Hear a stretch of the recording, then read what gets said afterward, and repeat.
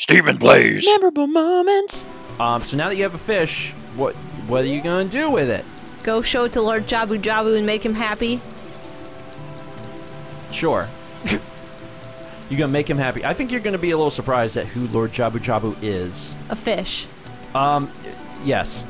Are are you familiar with the the the, uh, the biblical tale Jonah and the whale? Yeah. Okay, so imagine that, and in this situation, Link is Jonah.